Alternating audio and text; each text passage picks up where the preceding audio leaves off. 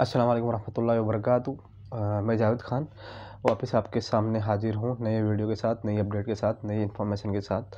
जैसे कि मैं आपको इन्फॉर्मेशन देता रहता हूँ, जो भी कुछ फ्रॉड स्कैम या कुछ रिलेटिव जॉब्स के या कुछ नई वैकेंसी तो आपके लिए आज नई इन्फॉर्मेशन लेके आया हूँ। उससे पहले और नई कुछ जो भी यहाँ की इन्फॉर्मेशन और किस हिसाब से आपको दुबई में आना है या किस हिसाब से आप आते हो, कैसे, क्या फ्रॉड कैसे होता सारा कुछ इन्फॉर्मेशन दूँगा। उससे पहले आप मेरा यूट्यूब चैनल सब्सक्राइब और इस वीडियो को शेयर एंड लाइक कर दें ताकि ज़्यादा से ज़्यादा लोगों को पता चले कि कैसे, दुबई में कैसे क्या होता है फ्रॉड कैसे होता है, अपना राइट कैसे हम यूज़ कर सकते हैं। तो सारा मैं आपको एक्सप्लेन कर देता हूँ। उससे पहले आप मेरे यूट्यूब चैनल एक बार फिर से, मेरे यूट्यूब चैनल सब्सक्राइब कर दें और ये video like and share and comment करें, जो भी आपकी राय है। तो मैं आपके लिए जो अपडेट लेके आता हूँ आज, एजेंटों के लिए, एजेंट के लिए और जो अपने कैंडिडेट है, उन दो पे बनाऊँगा।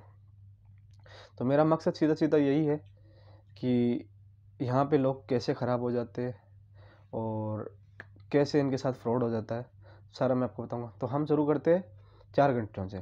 पहला, India, second, Pakistan, third, Nepal, fourth Bangladesh. चार घंटे या जिनके बंदे यहाँ पे आते हैं लेबर वाइट कलर या ब्लू कलर यानी वाइट कलर का मतलब होता है जो हाई प्रोफ़ाइल वाले ब्लू कलर का मतलब होता है लेबर लाइन के, जो लेबर में काम करते बड़ी बड़ी कंपनियों में तो उनके। तो अब यहाँ फ्रॉड कैसे होता है? और कैसे किया जाता है? और कौन करता है? तो ये सब मैं बता रहा हूँ आपको। फॉर एग्ज़ाम्पल इंडिया के अंदर जो बड़ी ऑफ़िस है, जिनके खुद के वैलिड लाइसेंस है, वो है बम्बई में है, ठीक है?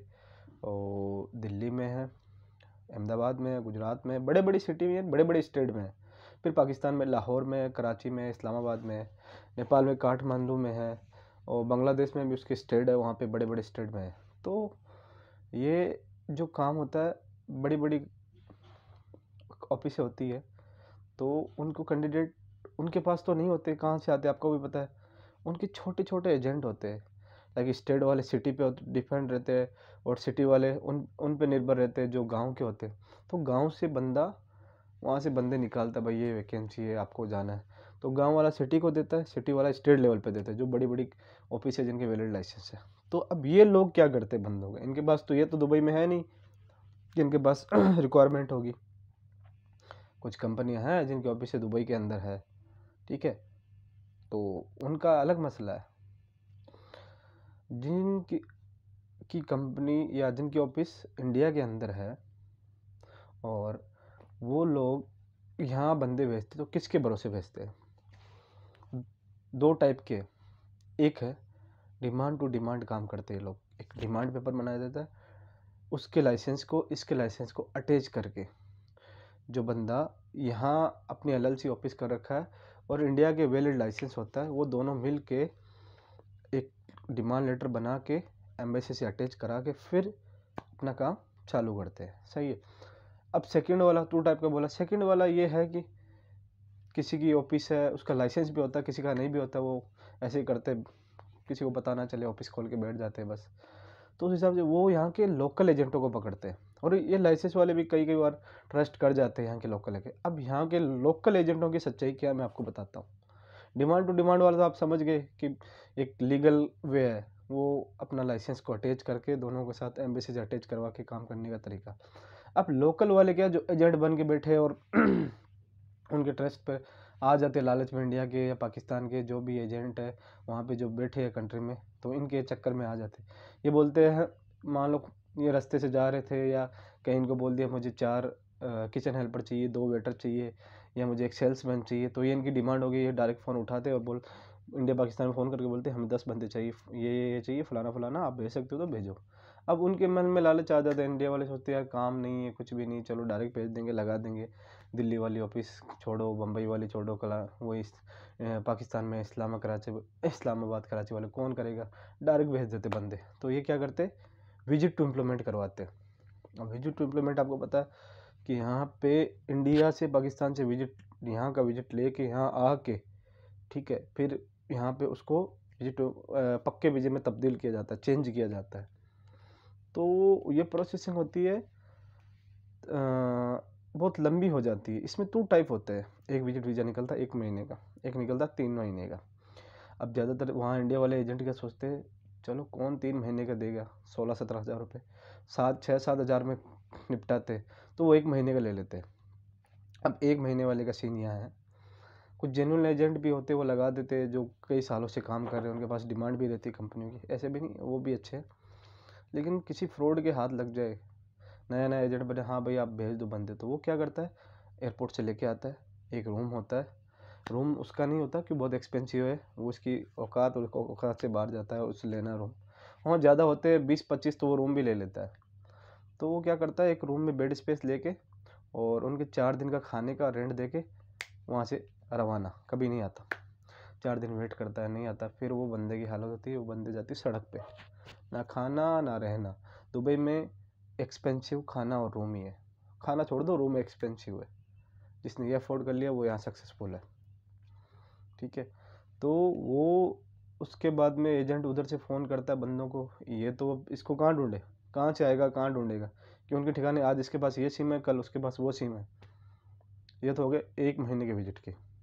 ठीक है, एजेंट के भरोसे। क्योंकि वो एयरपोर्ट से उठा के लेके आ जाता है और काम तमाम कर देता चार पाँच दिन के अंदर। क्यों पेमेंट तो पहले ले लेते कमीशन इनको पहले चाहिए। एयरपोर्ट पर जैसे उतरते तो पहले कमीशन मांगते इनको भी पता है ये सब।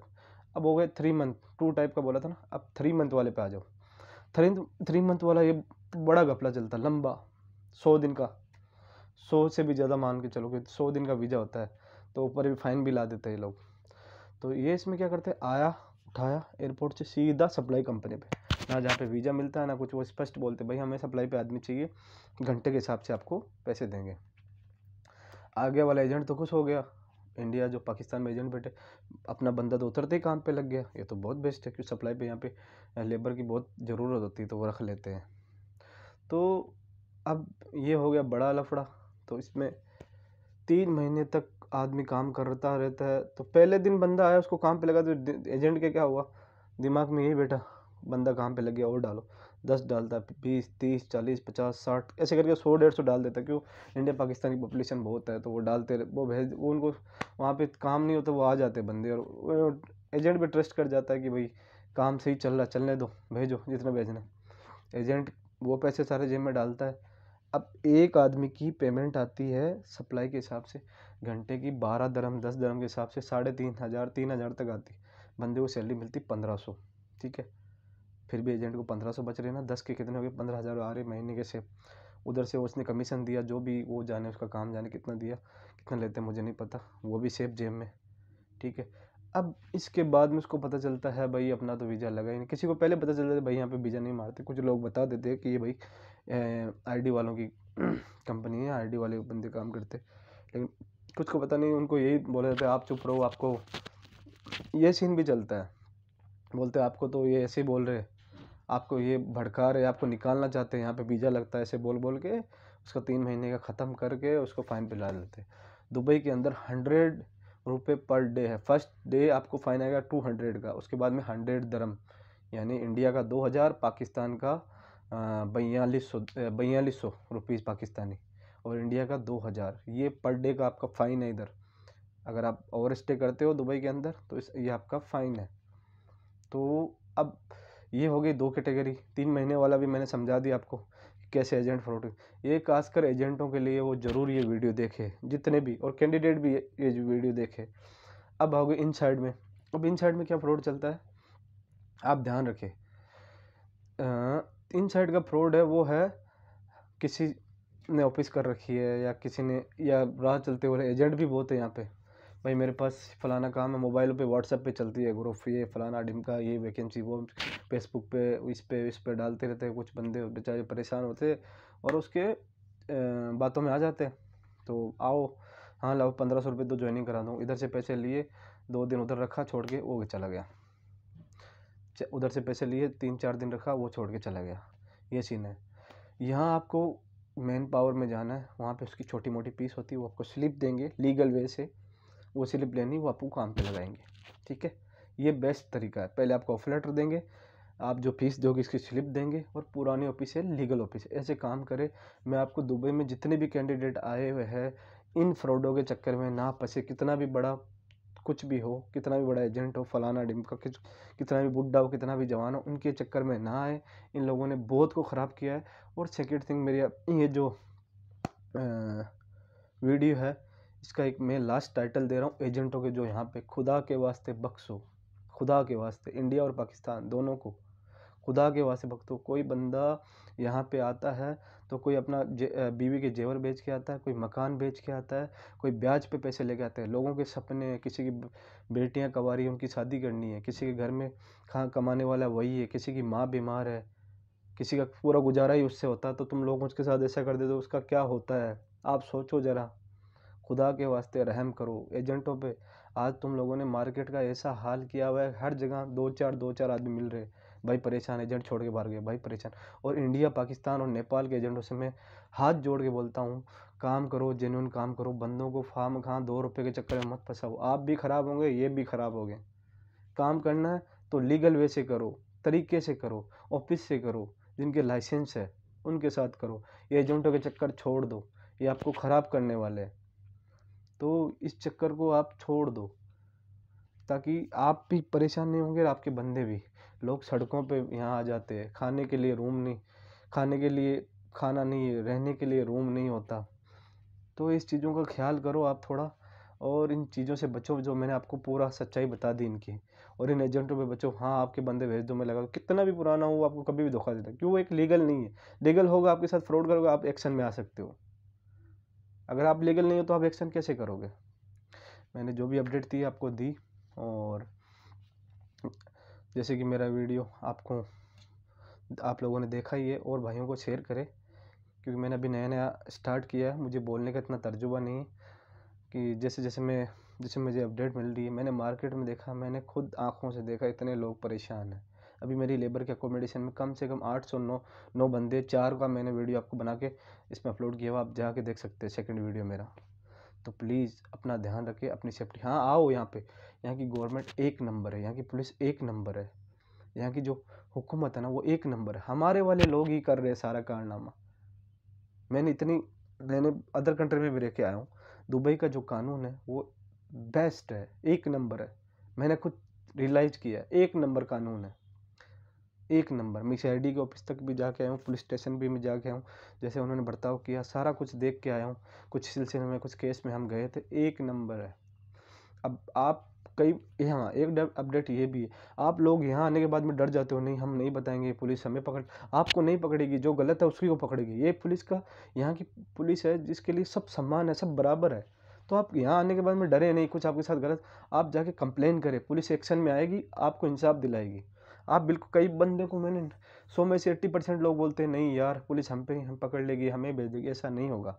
यहाँ की जो पुलिस ऐसी है, जो गलत होगा, उसी को पकड़ेगी, आपको नहीं पकड़ेगी। आपकी गलती नहीं होनी चाहिए, बस। तो इस चीज़ का ध्यान रखिए आप, और अपना एक्शन भी यहाँ आने के बाद में आपके साथ कुछ गलत हो जाता तो आप एक्शन में आए, रिपोर्ट करें, पुलिस के पास जाए, और उनको पूरी बात बताए, वो आपकी पूरी पूरी हेल्प करेगी। हंड्रेड परसेंट गारंटी के साथ पूरी हेल्प करेगी और इन एजेंटों से बचे। कोई भी इतना भी बड़ा एजेंट हो भाई हमें नहीं करवाना। बिल्कुल नहीं करवाना। हज़ार दे दो, पंद्रह सौ, बिल्कुल। ये लोग ख़राब हो गए इनके सर, इनके दिमाग काम नहीं कर रहे। इतना फ्रॉड कर रहे हैं, इसलिए इनसे बचे। जेन्यून ऑफ़िस में जाए मैन पावर की कंसल्टेंसी मैन पावर में जाए, उनके पास बहुत सारी जॉब्स होती है, या बड़ी बड़ी कंपनियाँ सर्च कर ले खलीज में आता है कि भाई यहाँ पे वैकेंसी चल रही है, यहाँ पे इन साइड वालों के, यहाँ पे वैकेंसी चल रही है वैसे जाके आप जॉब सर्च कर सकते हैं। दुबई में जॉब बहुत सारी है, लेकिन एजेंटों के चक्कर में ना आए। बस मेरा यही कहना है, मेरा यूट्यूब चैनल को सर्च करें सॉरी इसको सब्सक्राइब करें और शेयर करें, और वीडियो को लाइक करें और कमेंट बॉक्स में बताएँ कि वीडियो कैसा लगा, और अगला टॉपिक क्या रखना है, उसमें हम डिटेल दें। मेरी सारी डिटेल यूट्यूब चैनल में सारी डाली, मेरे नंबर कॉन्टैक्ट नंबर और दुबई में मेरे मेरे से कुछ भी हेल्प चाहिए आपको तो आप मेरे से कॉन्टेक्ट कर सकते हैं। असलकम